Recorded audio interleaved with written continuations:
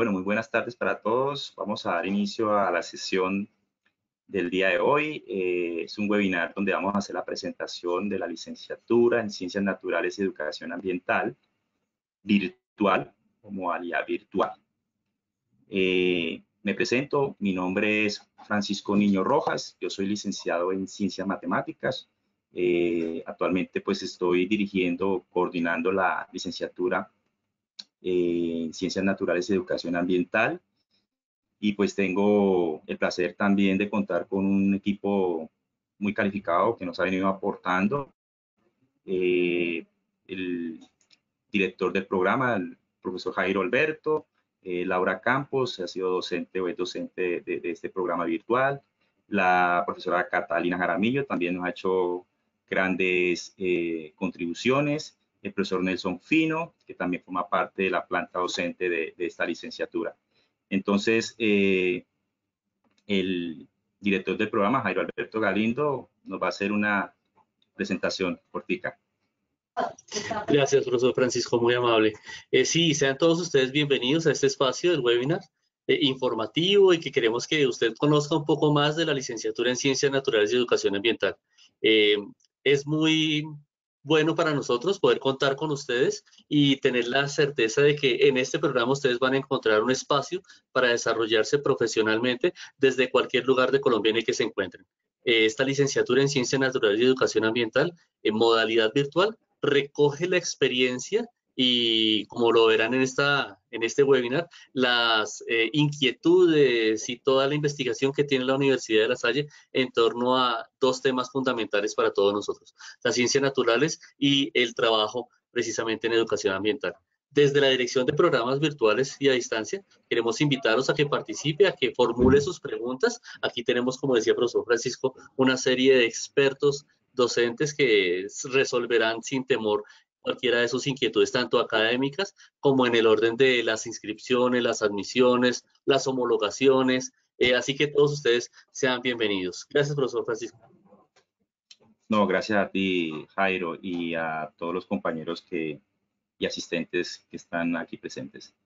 Bueno, eh, hablándoles un poquito de la licenciatura, yo pienso que la introducción que da Jairo es, es, es muy, muy, muy pertinente.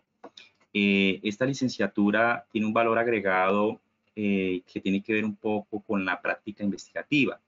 Eh, aquí hay varios componentes que juegan un papel, un rol importante, que es el proceso de enseñanza, que es el proceso de, aprendizaje, pero con estos, con estos componentes va a ir articulado una práctica investigativa. La idea es que a partir de proyectos, de prácticas de investigación, podamos intentar resolver esos problemas que, nos, que, nos, que, sufren ahorita nuestros ecosistemas y por ende, pues la idea es que a partir de ahí la Universidad de La Salle, eh, teniendo un reconocimiento en que se deben resolver este tipo de inconvenientes, plantea esta licenciatura en concordancia con o desde la, desde la Facultad de Ciencias de la Educación, eh, articuladas con, con el Departamento de Ciencias Básicas, pues nutren este proceso. Entonces, esto no es, un, no es una licenciatura que, viene dándose desde el semestre pasado, no, es un proyecto, es una investigación que se viene realizando, buscando esas necesidades, buscando esas, esa justificación que nos permita establecer un programa serio, pertinente y que nos que impacte eh, de alguna forma positivamente en, nuestros procesos, en nuestras prácticas de investigación. Entonces, el valor agregado es ese, eh, es un, es un proceso riguroso, serio, que bueno, ahorita pues eh, vamos a ampliar un poquito esa, esa, esa parte. Eh, quiero comentar un poquito sobre los beneficios, los beneficios que, que ofrece la universidad. Eh, inicialmente pues es una beca solidaria del 15% y no cobro de inscripción sobre el valor de la matrícula hasta el 15 de enero. Quien paga anticipadamente hasta el 15 de enero pues tendrá esa, esa beca o esa opción de beca. La Universidad de La Salle es una universidad ah, con acreditación institucional de alta calidad por ocho años. Es una universidad que piensa en los procesos de una forma rigurosa, seria, que nos permita llevar a cabo un proceso de formación, eh, de formación de profesionales eh, con conocimientos y con valores éticos, morales, eh, y la Universidad de, La Salle le apunta mucho a, estos perfiles. Somos una red internacional de más de 60 instituciones de educación superior alrededor del mundo. En la Universidad de La Salle, por solo hablar de la Universidad de La Salle, está en varios países del mundo y con ellos, con, esos, con esas universidades han hecho procesos de intercambios, proyectos de interinstitucionales que nos han permitido resolver problemas y que bueno, la idea es que desde aquí, desde su licenciatura, también podamos acercarnos a eso. Por hablar solo de la Universidad de La Salle, pero existen muchísimos convenios con otras instituciones de educación superior, con empresas nacionales, internacionales, donde vamos también a realizar nuestros, nuestros, nuestras prácticas a partir de convenios. Entonces es importante que Ahorita le vamos a hablar de un ejemplo de, ese, de un convenio que hay, pues por lo menos aquí en la ciudad de Bogotá, en la, en la sabana de Bogotá. Privilegios es un programa virtual, es un programa que es innovador, es un programa por la modalidad virtual, es un programa que está articulado con diferentes áreas socioculturales, económicas y que, bueno, le apunta a, articular muchísimas cosas con el fin de, de poder resolver problemas que hoy en día nos eh, mandan a, el medio ambiente. Bueno, eh, formación integral, planta de docentes cualificados. Aquí tenemos algunos docentes que nos van a, dar sus, desde su experiencia cómo le ha parecido y los beneficios que pues eh, tienen para ustedes los estudiantes tomar esta licenciatura. Bueno, yo también pues soy estudiante y como estudiante también de la, de la Universidad de La Salle, pues siempre pienso en, a lo que me voy a enfrentar qué voy a ver, eh, entonces prepararme para eso, después implica pues charlarles un poquito de la malla curricular. Entonces la malla curricular de ustedes como licenciados futuros eh, eh, profesionales es, se divide en siete áreas de formación, entre las cuales aquí estoy presentando tres. Esas tres está fundamentación general, disciplinar, didáctica de las ciencias, y cada una de ellas contiene unas, unos espacios académicos nos van a aportar mucho desde su, desde su aporte conceptual teórico, elementos para poder llevarlos a una educación ambiental de impacto. Entonces la idea es por menos eh, la fundamentación general, está habilitada por, como ustedes están viendo en la línea del tiempo, habilidades de lectura, escritura, oral, está, eh, tiene también espacio académico relacionados con matemáticas, matemáticas 1, eh, 2, habilidades argumentativas, métodos estadísticos. Y está la disciplinar, que es un área bastante interesante, importante, que donde ustedes van a tener la oportunidad de ver las ciencias de la química, la biología, eh, la física, la zoología, la ecología, la botánica, que son elementos fundamentales para poder llevar a cabo este, este proceso de formación eh, disciplinar. ¿sí? Obviamente, pues dentro de este primer eh, avance, pues está la didáctica de las disciplinas. Aquí pues van a ver ustedes no es importante solamente conocer los aspectos eh, teóricos conceptuales, sino también conocer cómo ustedes van a tener la oportunidad de darlos, ¿sí? de reflejarlos, de poder implementar estrategias de enseñanza. Entonces, a partir de ahí, pues están las didácticas y especialmente las didácticas de las ciencias naturales. Entonces, en esta área de formación, ustedes van a tener la posibilidad de enfrentarse a eso. Bien. Viene el segundo momento de la malla es tiene que ver con la fundamentación pedagógica, la, fundamentación, la formación electiva, la práctica pedagógica y fundamentación investigativa y la formación lasallista. Entonces, de la fundamentación pedagógica, como ustedes ven, ahí nos van a dar algunos lineamientos importantes sobre el desarrollo cognitivo, las políticas educativas, el currículo, la evaluación en la educación. Aquí nos van a dar ciertos elementos eh, importantes para poder nosotros ir consolidando nuestras prácticas y ya, ya pasando de ahí a la, a la práctica pedagógica y fundamentación investigativa, aquí es donde vamos a empezar nosotros a desarrollar, experimentar y ojalá así sea poder eh, ir consolidando nuestras prácticas pedagógicas en la enseñanza de las ciencias eh, y el medio y educación ambiental. ¿sí? Eh, está la formación electiva. La formación electiva es una, eh, ustedes tienen la oportunidad durante toda su malla eh, acceder a tres de ellas, son nueve créditos y como su nombre lo dice, son electivas que se van a, ustedes van a tener la oportunidad de escoger a partir de una serie de, de, de opciones que le va a dar la universidad para que ustedes puedan, si desean profundizar sobre alguna área de formación específica, pues ahí tengan a la mano alguna de ellas. Eh, por nombrarles algunas, yo les voy a hablar de pronto del diseño de ambientes y materiales para el aprendizaje, está la didáctica de la comunicación, electiva como la cognición y el aprendizaje en entornos virtuales, está la electiva de lectura y producción de textos científicos, entre otras que van a tener ustedes la oportunidad de, de escoger.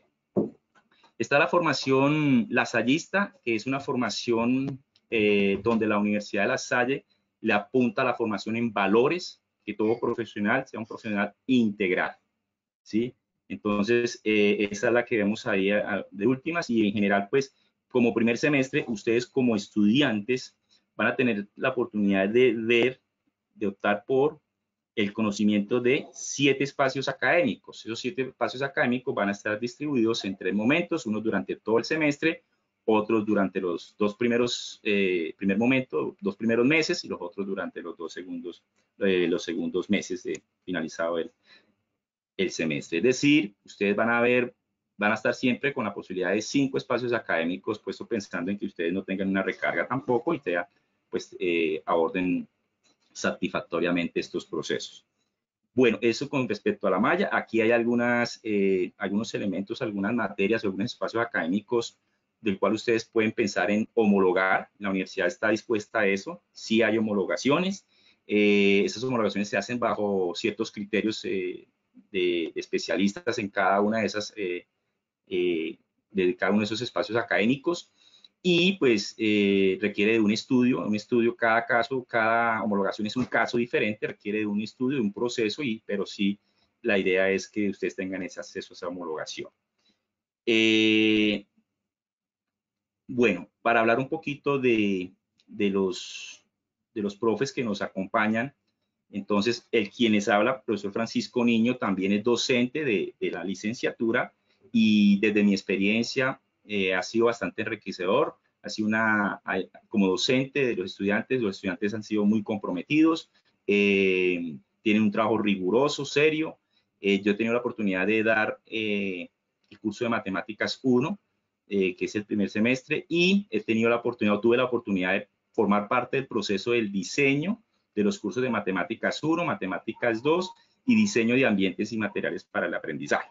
Entonces, el segundo semestre, pues van a ver Matemáticas 2, es un curso que lo van a ver posiblemente con otro docente, pero es un curso que pues hay todos eh, con, en cooperación con el, con el equipo e-learning de la Universidad de La Salle, el Departamento de Ciencias Básicas, la misma Facultad de la Educación, hemos venido desarrollando y alimentando todo esto.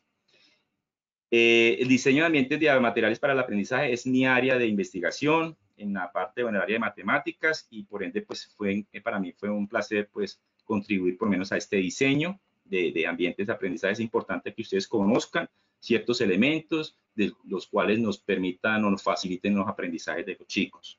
Entonces es muy importante esta figura como una electiva que más adelante ustedes pueden van a tener la oportunidad de, escoger, si así lo desean.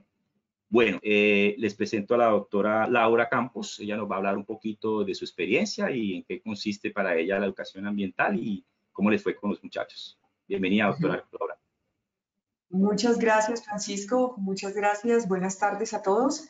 Bueno, como lo acaba de mencionar eh, Francisco, bueno, yo soy Laura Victoria Campos, doctorado en ciencias, eh, con una, digamos, amplia experiencia en temas ambientales. Digamos que es súper importante que el tema que estamos tocando en la actualidad lamentablemente gira en torno a la problemática ambiental, a todos, digamos, estos estos problemas y estas falencias que estamos presentando y que de alguna manera no estamos sabiendo manejar como, como sociedad y como ciudadanos.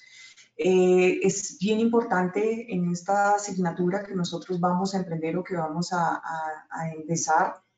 Mm, ya tuve una experiencia este primer semestre y fue bastante enriquecedora, digamos, en el, en el tema de proyectos y desarrollo de, de temas que desde la, misma, desde la misma problemática que tienen los estudiantes en torno a sus barrios, a sus zonas, a sus sitios de origen, pueden generar diferentes, digamos, consignas y diferentes soluciones para esas problemáticas ambientales que se presentan.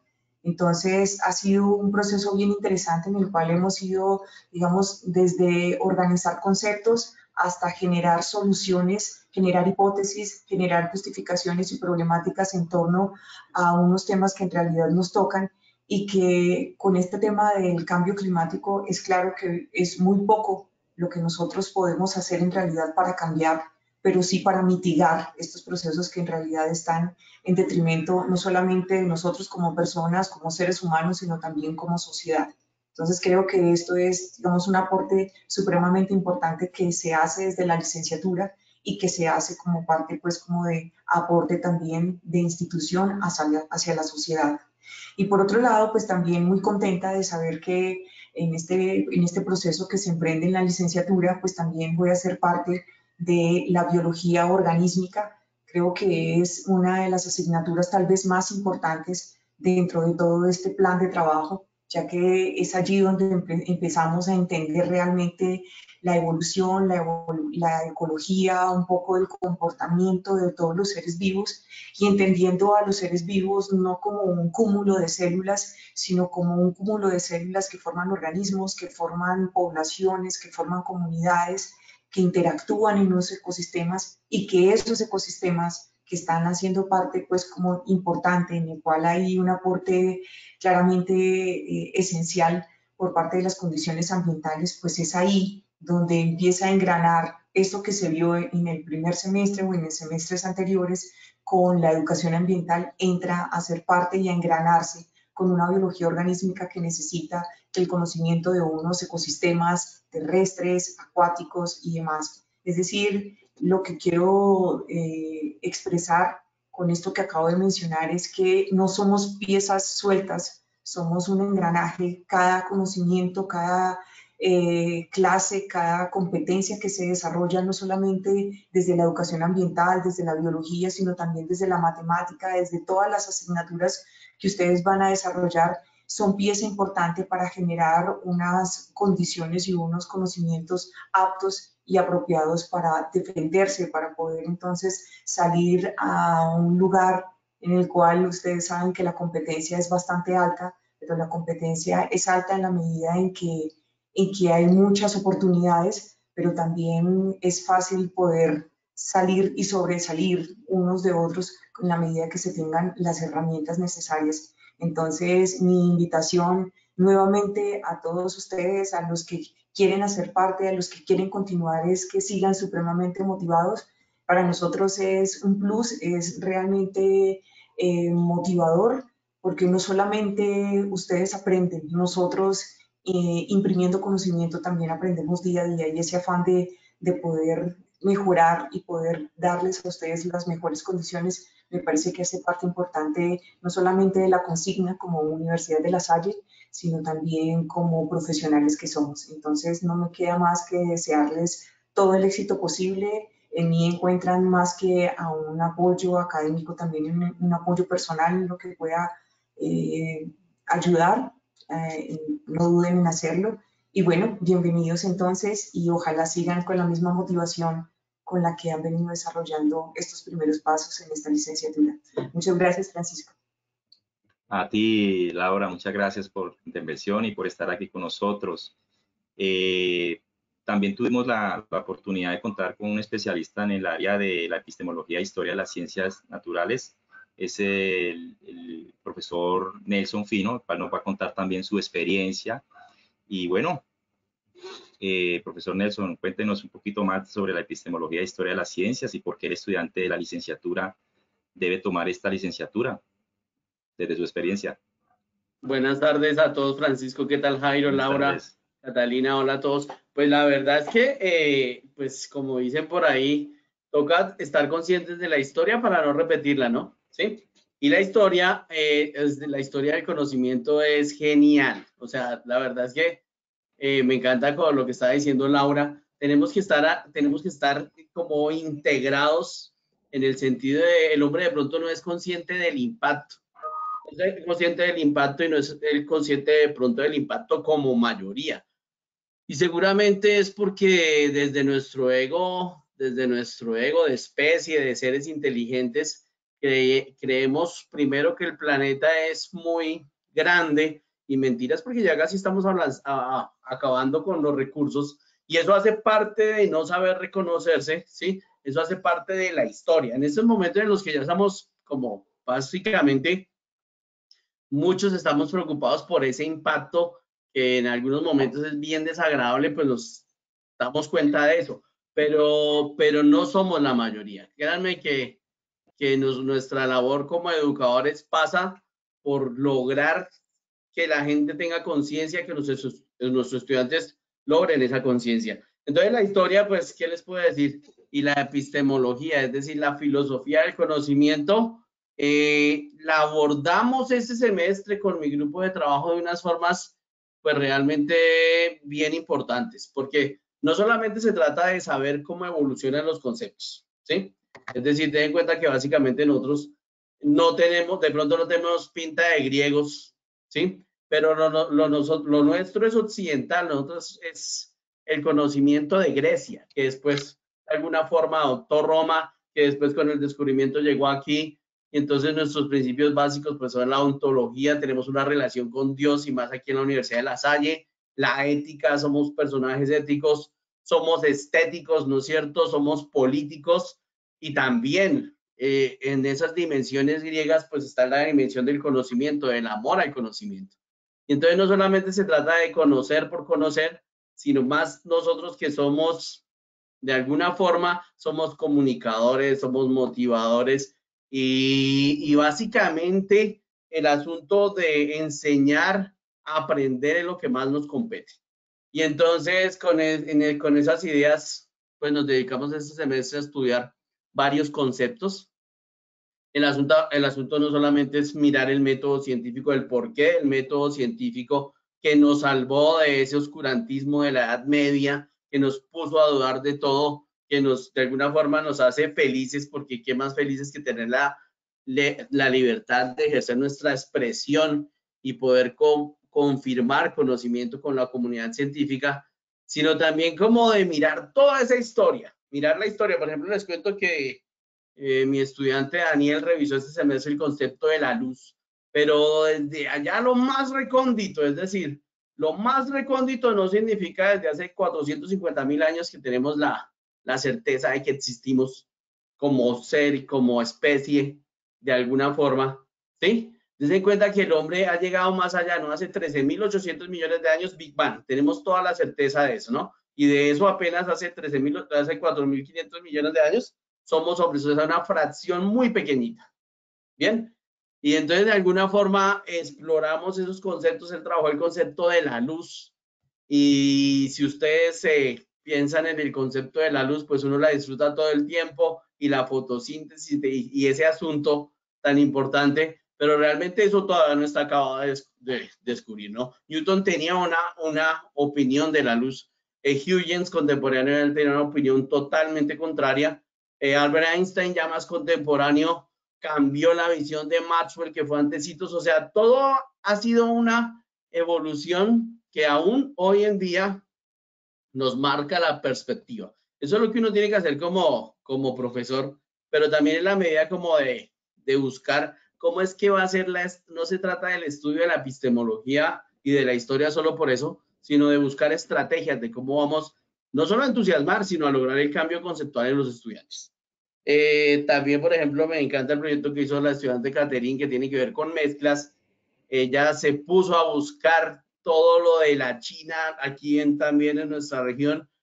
Esos conceptos que muchas veces uno ignora porque solamente estamos concentrados en la divulgación occidental.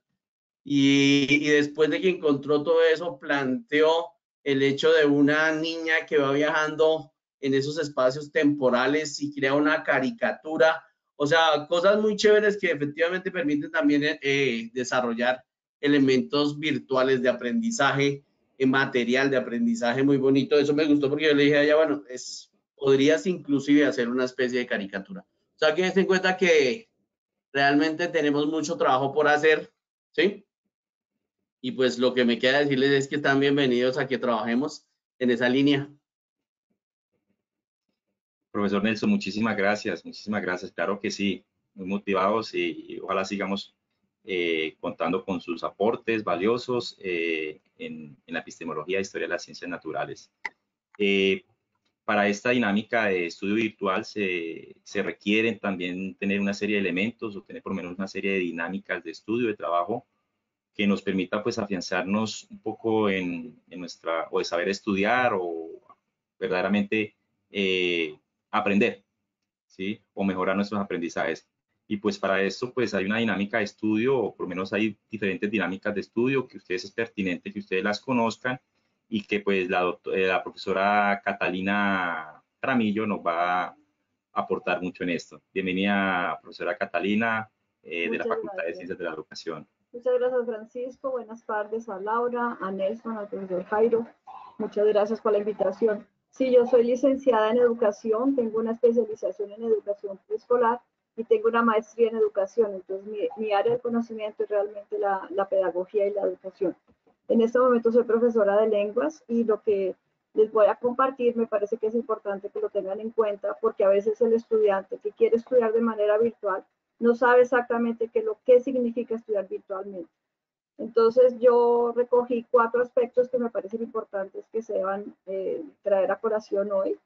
Y es que aprender de manera virtual y aprender de manera presencial tiene unos ejes comunes y unos ejes particulares. Los ejes particulares son lo que tiene que ver con la conectividad, con el trabajo independiente, con la idea de no ver a los compañeros presencialmente, sino verlos a través de la cámara pero yo les quiero compartir eh, los ejes comunes con, que tienen que ver con el, todo licenciado de la Universidad de La Salle.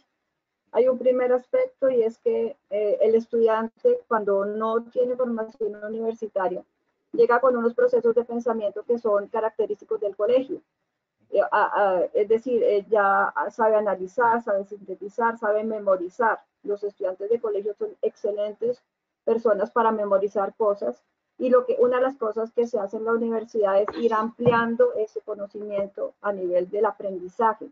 Ya no es suficiente aprender de memoria, es importante analizar la información. Entonces, en la carrera ustedes no solo van a aprender de sus asignaturas particulares en la licenciatura a la cual se van a escribir, sino que van a desarrollar procesos de pensamiento. Eh, un aspecto muy importante es que el estudiante sea activo ante su conocimiento. El estudiante puede estar simplemente llegar a la clase, abrir el micrófono, abrir la cámara, mirar, hacer las tareas y ser un simple receptor. Pero la sociedad del siglo XXI necesita personas que se cuestionen, que cuestionen las teorías, que no sean simples receptores. Ustedes, los jóvenes, eh, son muy buenos para buscar la información, para cuestionar. No hay, nada, no hay nada más cuestionador que un estudiante joven. Entonces hay que aprovechar esa idea de cuestionar el conocimiento y relacionar eso que uno sabe con la realidad. O sea, allá las teorías dicen por allá que funciona así, pero ¿cómo funciona en mi realidad? Eso es bien importante porque si el aprendizaje no es cercano a nosotros, pues se va a olvidar fácilmente. Hay otra cosa que es muy importante y es que en la licenciatura se les va a enseñar cosas particulares de sus áreas de conocimiento, pero ustedes van a desarrollar también el aprendizaje desde cinco pilares. Eso se llaman los pilares del conocimiento que son los pilares establecidos por la UNESCO. La, ustedes tendrán que aprender o si aceptan la invitación, podrán aprender a aprender. Aprender a aprender es lo más difícil que hay. Uno no sabe cómo estudiar. Uno dice, yo aprendí, pero ¿qué hice con el conocimiento? Entonces, desarrollar estrategias para asimilar la información, para sintetizar la información, para memorizar la información es muy importante. Hay otro pilar que es muy importante, que es el aprender a hacer. O sea, uno recibe la información, aprende la información y después pasa la acción. Si uno no pasa la acción, pues se quedará como ahí un simple receptor de la información que le produce la información, pero que no va más allá. Y hay dos pilares que son importantes para nosotros desde la Universidad de La Salle, son pilares muy importantes, que son la, la capacidad de, o la competencia de aprender a ser, a ser personas, a ser individuos, a ser individuos de nuestra historia, de nuestro momento histórico y aprender a convivir juntos. Ese pilar es súper importante y en eso la licenciatura tiene una apuesta muy importante porque hay mucho trabajo que es colaborativo. No es solamente yo solito desde mi casa aprendo, sino yo aprendo con el otro y sobre todo aprendo con el otro que piense diferente que yo. Porque por lo general aprendemos o cuando hacemos trabajo en grupo a nosotros también nos pasa cuando somos profesores queremos trabajar con el otro que piensa como yo y aquel que piensa diferente que yo, yo no lo quiero en mi grupo porque me va a demorar o yo pienso que sé más que él. Entonces, dentro de las dinámicas que se desarrollan en las licenciaturas virtuales es la posibilidad de compartir conocimiento. Por eso hay foros, por eso hay chat, por eso hay trabajos en grupo, trabajos individuales, en donde cada uno va aprendiendo del otro. Y el otro pilar que es supremamente importante, tal vez es más difícil, que es el aprender a transformar la información. Si yo simplemente recibo la información y la reproduzco, pues no hago nada con eso. Pero a veces yo puedo coger una cosa de una asignatura, relacionarlo con otra asignatura y lo que hago es transformar la información para poder aprender. Como les dije, esos son los pilares que se van a desarrollar sin que ustedes se, se den cuenta, pero son los pilares que hacen que nosotros seamos o que ustedes sean profesionales del siglo XXI. Hay otra cosa que es muy importante y es que tenemos acceso a muchísima información, tenemos demasiada información accesible. Y lo que es importante es que no se queden los estudiantes solamente con lo que el profesor dijo que tocaba leer o el video que el profesor dijo que tocaba escuchar, sino que ustedes también busquen. Los estudiantes encuentran información que a uno ni siquiera se le ocurría que existiera, porque ustedes le cacharrean, como se dice, mucho más que a nosotros a la tecnología.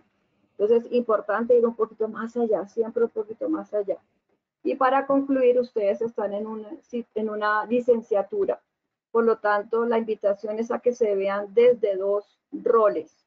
El rol que aprende, el estudiante que aprende, que asiste a las clases, que hace las tareas, que cuestiona, que a veces se le olvidó que tenía que hacer tareas, porque a mí me pasaba también en los cursos virtuales que he tomado, a mí se me olvida que hay que hacer tareas y después digo, ay, no, sé, yo lo hago después. No, no, no.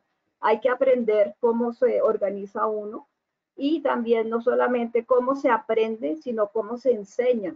Nosotros los profesores somos modelos de ustedes y la idea es que ustedes se vayan fijando no solamente qué es lo que se está enseñando, sino cómo se está enseñando, porque prontamente ustedes en quinto semestre tienen prácticas. Entonces la idea es que vayan formándose desde ese doble rol de el que enseña y el que aprende. Muchas gracias. A usted, profesora Catalina, por esos consejos, por esa intervención tan, tan bonita que hizo sobre, sobre el estudio virtual. Eh, bueno, había, al principio habíamos, habíamos hablado de, unos convenios. Eh, aquí hay un ejemplo de un convenio que eh, la Universidad de La Salle tiene, con el, que es con el Parque Jaime Duque, eh, por su multidiversidad. Entonces, el profesor Jairo Galindo nos puede acercar un poquito a esta información. Claro que sí, muchas gracias, profesor Francisco. Si ustedes ven hasta el momento la licenciatura en Ciencias Naturales tiene todo lo que usted necesita o lo que usted puede encontrar y que se está construyendo en favor de, la protección del medio ambiente, del estudio de la sociedad humana desde las ciencias naturales. Eh, vimos con el profesor Nelson cómo es de importante el amor al conocimiento, con la profesora Laura, esos orígenes, ese, esa forma de estudiar científicamente para poder enseñar después a nuestros futuros estudiantes y con la profesora Catalina, cómo es que es la dinámica de aprender a aprender. Eh, es una licenciatura que con la coordinación del profesor Francisco Niño, desde matemáticas y toda su experticia, nos lleva a que si nosotros nos sentimos atraídos por la, por la naturaleza, por el medio ambiente, por las ciencias naturales y queremos desarrollar esa experticia de forma eh, profesional, de manera profesional en un pregrado para enseñarle a otros, entonces esta es una licenciatura que además nos da la posibilidad de hacerlo de forma virtual. Cuando escuchamos a algunos estudiantes diciendo, bueno, eh, yo quiero, no tengo mucho tiempo, necesito desarrollar mis estudios de pregrado, eh, ¿en dónde puedo hacer? Pues, y ahora con la virtualidad, ¿será que eso me sirve para poder avanzar? Eh, sí, listo, claro, la licenciatura virtual le sirve. ¿Cómo entonces hago para hacer mis prácticas profesionales? esas prácticas que desde el año pasado, desde hace dos años, no recuerdo bien, comienzan a ser reconocidas como, como experiencia laboral. La Universidad de La Salle tiene convenios con las escuelas normales superiores de todo el país y tiene convenios con algunos lugares como el Parque Jaime Duque. ¿Qué significa tener convenios con eso? Que si usted se encuentra, por ejemplo, en Orocue, si se encuentra en Monpós, si se encuentra en Guainía, Riohacha, y cerca a usted se encuentra alguna institución de educación, algún parque, alguna escuela normal superior, en ese lugar usted podría desarrollar su práctica pedagógica investigativa. Si usted ya tiene alguna experiencia como docente, pues entonces puede presentarnos los papeles y podríamos valer ese tema o u otros estudios para la homologación. Cada caso es independiente, pero eh, queremos presentar a ustedes, por ejemplo, acá para quienes se encuentran cerca de la región andina, el Parque Jaime Duque. El Parque Jaime Duque es un espacio eh, que queda al norte, es un parque bastante grande, por favor, siguiente, un espacio en el que, que se encuentra al norte de la ciudad de Bogotá. Es un espacio en el que eh, hace poco eh, no era muy conocido por, por algunos de, nosotros desde la academia, pero sí por familias, por personas que les gustaba mucho buscar un lugar para disfrutar del aire libre. El Parque Jaime Duque es eh, un lugar con el que la universidad hizo un convenio en 1990 para que sus eh, estudiantes de ciencias veterinarias, de ciencias agropecuarias, desarrollaran allí sus ejercicios de práctica. En 1990, en 1990, la universidad se encargó de dirigir el zoológico del Parque Jaime Duque. Ahí tenemos algunas fotos de eh, lo que se ha hecho, de lo que se hacía eh, desde esos años en el Parque Jaime Duque. La Universidad de La Salle, con su departamento, era el encargado, o es aún el encargado de coordinar las actividades de ciencias naturales y educación ambiental allí en Jaime Duque.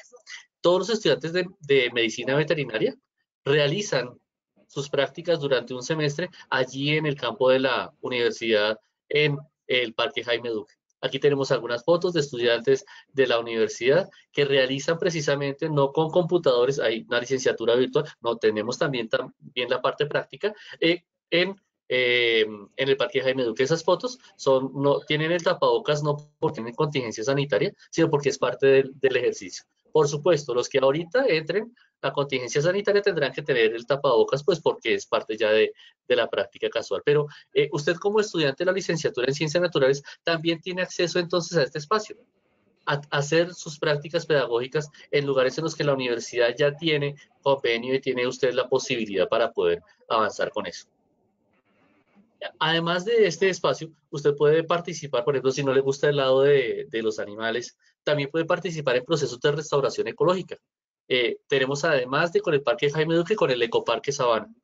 Eh, usted piensa, por ejemplo, ahorita desde lo que le habló el profesor Nelson, desde lo que le dijo la profesora Catalina, desde lo que le comenta la profesora Laura, incluso lo que le comenta el profesor Francisco, mire, yo quisiera hacer mi proyecto en esta línea de trabajo, pero es que no tengo dónde hacerlo. La Universidad de La Salle, por medio de este tipo de convenio, les presta el espacio para que usted pueda llevar a cabo ese, esa parte de su formación profesional. Aquí tenemos algunos trabajos de campo que se han realizado eh, conectándonos con empresas privadas, entonces vienen las familias de los estudiantes incluso a pasar un día de campo a sembrar árboles eh, allí también como parte de, su, de, sus actividades en ciencias naturales y educación ambiental. Eh, el Parque Jaime Duque mantiene su convenio con la Universidad de La Salle y pues abre sus espacios para que los estudiantes de la licenciatura en Ciencias Naturales y Educación Ambiental realicen así sus prácticas. en un ejercicio de gana-gana. El Parque Jaime Duque nos presta sus, eh, sus espacios y nos permite que también nosotros, como licenciados, futuros licenciados en Ciencias Naturales, eh, nos valgamos de ellos mejorándolos, mejorándolos por medio de la investigación, por medio del trabajo de campo. Eh, si usted, por ejemplo, es ya estudiante de la Universidad de La Salle, tiene un pase gratuito para ingresar aquí al Parque Jaime Duque. Profesor, eh, administrativo, no solamente Sasaima, no solamente Fusagasugá, no solamente, sino también aquí el Parque Jaime Duque. Es una de los, uno de los convenios. Entonces, una parte de la invitación que queremos extenderle aquí todo el equipo docente y desde la Dirección de Programas Virtuales y a Distancia, para que haga parte de la licenciatura, para que nos acompañe en este ejercicio de aprender a aprender en el campo si lo suyo o usted se siente atraído por promover educación ambiental, la naturaleza y, le gusta eh, estudiar además, eh, pues mire este, este escenario. Ya el profesor Francisco dijo que se iba a robar esa foto. Eh, entonces, los invitamos mucho con todo el corazón, con toda la naturaleza, para que mm, con todo el acompañamiento fraternal lasallista, a que sea parte de la licenciatura en Ciencias Naturales y Educación Ambiental. les decimos a ustedes eh, allí a Alejandra, a Fabián, a Ernesto, a Liz, eh, vengan, háganse parte de la licenciatura, convoquen a sus compañeros, convoquen a sus familias para que nos acompañen aquí en este ejercicio de profesionalización del amor por la naturaleza. Jairo, muchísimas gracias, eh, muy amable por tu inversión e invitación a conocer el parque. Yo cada vez que puedo voy, voy con mis hijos y disfruto de, un día de campo. A ellos les encanta y personalmente también me fascina este parque. Eh, bueno, ya dando cierre a, esta presentación de la licenciatura, pues me queda pues em, volverlos a invitar a formar parte de, este equipo, de este proceso. Eh, es un proceso riguroso, serio y pues bueno, no me queda más que estamos siempre a su disposición. Aquí hay una, una idea que, tengo siempre como, como profesor eh, comprometido con la Salle y es el acompañamiento. Esto es un proceso donde ustedes desde el primer momento hasta el último momento van a estar acompañados con, con personal cualificado, calificado, eh, que les permita dar orientaciones para que sus procesos sean procesos de impacto. ¿sí? Entonces, eh, esos son nuestros contactos. Eh, mi nombre es Francisco Niño, es el correo de la licenciatura, mi correo de institucional, el correo del profesor Jairo Alberto, director del programa, ahí también lo tienen a, su disposición. Y créanme que vamos a estar abiertos a cualquier duda, cualquier pregunta que ustedes tengan, con mucho gusto. Entonces, no sé si existan algunas dudas, comentarios, reflexiones que ustedes quieran eh, ser partícipes, con mucho gusto lo escuchamos. De pronto, Andri, Javier, Robinson, ¿tiene alguna pregunta que nos quieran transmitir? De pronto también Elena. Bueno, pero están preguntando, profe Francisco, desde acá, ¿cómo, ¿cómo, es la financiación? Que es que ese pedacito lo dijo casi al comienzo y no, no se conectaron con ese punto. ¿Cómo ah. funciona la beca y la financiación, profe? Eh, perfecto, perfecto. Gracias por la pregunta, eh, apreciado estudiante.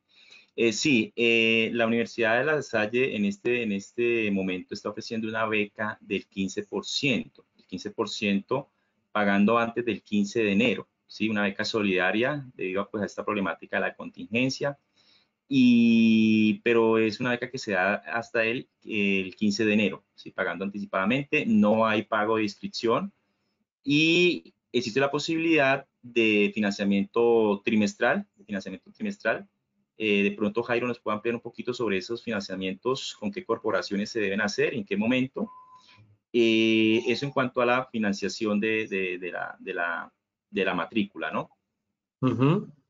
Sí, eh, cuando usted presenta su inscripción, usted se inscribe aquí a la licenciatura y desea avanzar con ella, pues entra a la página web de la universidad, ahí aparece oferta académica, escoge el programa o directamente va a admisiones, allí encuentra entonces la posibilidad de inscribirse se inscribió al programa. Pasa entonces con nosotros a la entrevista con el profesor Francisco, con la profesora Catalina, con cualquiera de nosotros, eh, y ahí le ampliamos mucho más la información que usted desea. Una vez pasa esta parte de la inscripción y la admisión, ¿qué es lo que procede? Eh, la matrícula. Como ya sabemos, no va a pagar inscripción, pero procede la matrícula. Usted dice, es que deseo hacer el pago eh, financiado. La Universidad de La Salle tiene convenio con Inversora Pichincha, con el Banco de Bogotá, con Da Vivienda, con el banco en el que usted lo prefiera, no tenemos ningún cierre a algún banco o preferencia. E incluso la Universidad de La Salle, si usted lo considera, también puede participar en ese apoyo financiero. Podemos también, además de la beca, si usted paga hasta el 15 de enero, eh, mantenerla 15% hasta el 15 de enero, o pues no alcanza a pagarlo, lo que podemos hacer es el pago trimestral. ¿Cómo así el pago trimestral? Que usted puede hacer un pago por los primeros tres meses de su semestre, entonces divida el pago completo de la matrícula en dos y hace un primer pago por los tres primeros meses y ya eh, para el mes de marzo, abril, hace un pago por los otros tres meses. Es una forma distinta a la financiación, porque así no, no es que me lo prestan hasta marzo. Yo tengo lo de la mitad de la matrícula, entonces pago la mitad de la matrícula. Entonces pagaría la mitad de la matrícula y más adelante, en marzo, abril, pagaría la segunda mitad. Eso en cuanto a la financiación. Pero pues lo primero, lo más importante es ya ahorita inscribirse, eh, pasar admisiones, que ya la universidad eh, con, toda su, con toda su planta eh, administrativa le colabora usted con, con su consulta acerca de, de, esa financiación. Esa sería una orientación, profesor Francisco. Creo que Javier tiene una pregunta, pero no alcanzo a leerla. Aquí me preguntan, no sé, Javier Martín, ¿hay encuentros sincrónicos? ¿Es esa? Sí, sí, sí, Javier. Eh, la dinámica de, trabajo son, con, son encuentros sincrónicos y asincrónicos. Esos encuentros están distribuidos según los créditos, la intensidad horaria de, cada espacio académico están distribuidos durante el semestre o durante la, duración de su espacio académico, donde el profesor le, da le ofrece la oportunidad de, que, eh, de resolver sus dudas, sus inquietudes, de revisar avances, de informes y todo lo que sea pertinente para que usted vaya evolucionando en sus aprendizajes, ¿sí? Entonces, la, la, dinámica es esa, pero sí existen encuentros sincrónicos y eso depende del espacio académico, por ejemplo, el espacio académico de matemáticas. Matemáticas es un espacio académico que va desde el principio hasta el final del semestre, durante los cinco meses prácticamente que dura el semestre, eh, y es según su creditaje, pues tiene 10 encuentros eh, sincrónicos, ¿sí? Entonces son 10, 10, encuentros donde nos vamos a ver eh, cara a cara y esto ahí donde vamos a tener la oportunidad de retroalimentar cosas, de resolver dudas, ¿sí? Mirar avances, lo que ustedes deseen preguntar. Sí, efectivamente hay encuentros sincrónicos. Nunca los vamos a dejar solos. La política que tiene la universidad es acompañamiento y sobre esa política es que nosotros estamos trabajando. ¿Sí? Comenzaríamos eh, clases el primero de febrero. Primero de Comenzaremos clases el primero de febrero y terminaríamos clase primer semestre el 19 de junio. Entonces tiene algún tiempito para irse organizando, para organizar su agenda eh, y esos horarios de clase son siempre de 6 en adelante, de 6 de la tarde en adelante para que usted también pueda agendarse. Eh, al comienzo del semestre, en el primer encuentro, eh, le estamos informando cuál va a ser la agenda de todo el semestre para que usted pueda informar en su trabajo o prepararse. No es que ese día es el cumpleaños de mi sobrina, entonces no, ya sé, primero el estudio, entonces voy a prepararme para ese día de la clase. Entonces las, los encuentros son sincrónicos, como comenta el profesor Francisco, y desde el comienzo del semestre usted ya sabe qué días, a qué horas tiene las clases con sus profesores. Sí, señora, existe una planificación de entrada, eh, y, es decir, no vamos a improvisar nada aquí, entrada van a saber ustedes en qué momento, en qué semana van a tener sus encuentros, sus evaluaciones, durante que, o sea, le vamos a dar como unas orientaciones semana a semana también que ir estudiando para que ustedes tengan ahí una, una idea o una guía de trabajo. Jairo, eh, de pronto nos puedes ampliar un poquito más sobre esta pregunta. Eh, ¿Se puede hacer homologación? Yo ya lo había comentado, eh, había dicho que sí y que cada caso pues era un caso puntual diferente. Claro que sí, si hacemos homologación, pero eso depende también de, de, algunos aspectos de pronto, si existen de pronto las más temáticas son afines con, con las materias que se quieren homologar o espacios académicos y también depende de sus notas, ¿no? Pero Jairo nos puede ampliar un poquito más Claro que sí, gracias, profe Francisco. Sí, la homologación, ¿cómo funciona? Usted trae su estudio académico con las notas y la síntesis de lo que vio en cada espacio. Me refiero, si usted, por ejemplo, dice, no es que yo estudié ya una asignatura que se llama Matemáticas 1. El nombre no es eh, descriptor de lo que se pudo haber visto. Entonces necesitamos Matemáticas 1, cuántos créditos vio, qué notas sacó, obtuvo y cuál era la sinopsis de esa, de esa asignatura. Eh, si esa materia está en, ahorita en este semestre, pues podemos sí homologarla, pero no podríamos por ahora reemplazársela por otra asignatura que no esté abierta. Entonces, cada homologación, cada propuesta de cada uno de ustedes es individual. No podemos decir a todos se les va a homologar. Lo único que no homologamos es investigación y formación de asayista. Son las únicas dos asignaturas que nunca se homologan, porque son parte del talante de la Universidad de La Salle. Eh, claro que se hacen homologaciones, se hacen homologaciones hasta por el 60% de todo el programa eh, y pues usted puede participar siempre en, en eh, esos estudios que nosotros proponemos para que usted haga parte de la licenciatura. El que usted homologue no significa que usted eh, no deje de ver ciertos créditos. Por ejemplo, homologue tres, tres créditos, pues esos créditos se le van a cambiar por otra asignatura pero no es que ya vio los créditos y no los va a ver nunca más. Esos créditos se ven, pero en otra asignatura. Eh, eso en cuanto a la homologación, profesor Francisco. Bien, eh, hacer una pregunta, Andri Yolersit hace la pregunta de que en caso de programa presencial, ¿cómo funcionan las residencias universitarias? Em, creo que no tenemos programa presencial. En este caso, la licenciatura en Ciencias Naturales y Educación Ambiental no tiene programa presencial. Es 100% virtual, Andri. Estás cordialmente invitada. No sé si alguien quiera, tenga otra inquietud, duda, comentario. Estaremos dispuestos a atenderlos. La profesora Catalina. Sí, gracias. Para, para complementar al profesor Francisco, ¿Cuál es el campo laboral de los egresados? ¿En dónde pueden trabajar?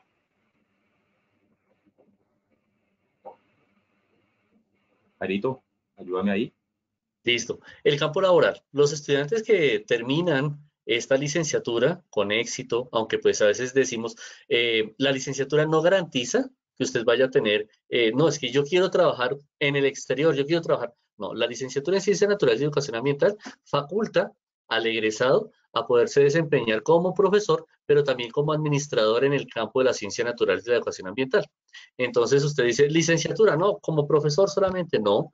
Hay algunos profesores que son administradores en este campo de la educación ambiental. Eh, pues no es un zootecnista, pero sí se desarrolla, sí desarrolla sus competencias para enseñarle a otros en este campo de las ciencias naturales. Cuando usted, cuando usted vio la malla curricular, biomatemáticas, biobiología, bioepistemología, vio muchas asignaturas que le permiten a usted, conforme desarrolla su preparación profesional, prepararse o, o ubicarse profesionalmente, laboralmente. Primero como docente, sí, en el campo de las ciencias naturales, pero también como administrador de este campo.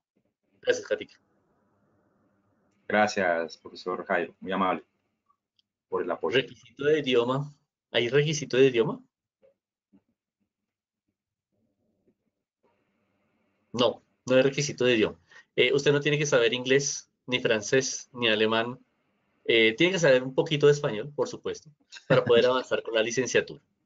Eh, cuando usted termine la licenciatura, le vamos a pedir más por perfil profesional, que usted haya desarrollado un nivel B1 por lo menos de inglés.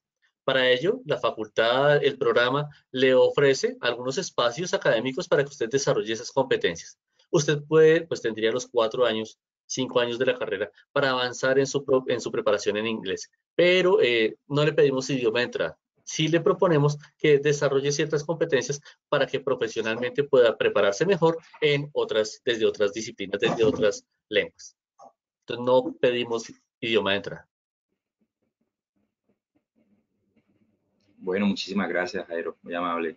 Sí, dentro del plano La Malla, eh, precisamente eh, hay tres espacios académicos que tienen que ver con inglés 1, inglés 2, inglés 3, que son los que van a poder ustedes disfrutar dentro de su, dentro de su estudio, ¿no? Entonces, bueno, muchas gracias. Eh, no sé si hay otra inquietud, pregunta, comentario, con mucho gusto. Muchas gracias a Andri, a Diana, a Javier por estar acá. Los esperamos eh, aquí en la licenciatura, también a Elena, a Roberto, a Francisco de su tocayo, compañero. Eh, gracias por estar acá. Gracias, Francisco, por la invitación. No, gracias a todos por la asistencia, apreciados estudiantes. Los esperamos con los brazos abiertos. Eh, estaremos contactándolos por vía teléfono, vía medio correo o vía telefónica, pues para charlar un poquito más y, mirar a ver las posibilidades para poder que puedan acceder y tomen la decisión de estudiar con nosotros. Muchísimas gracias a todos, profesora Catalina, muy amable por, por su presencia, por su intervención, profesor Nelson Fino, muchísimas gracias. Eh, Jairo, eh, muy agradecido también por tu aporte y bueno, gracias a todos. Muchas gracias, profe. esté muy bien, nos vemos en otra bueno, Hasta luego. Hasta luego, muchísimas gracias.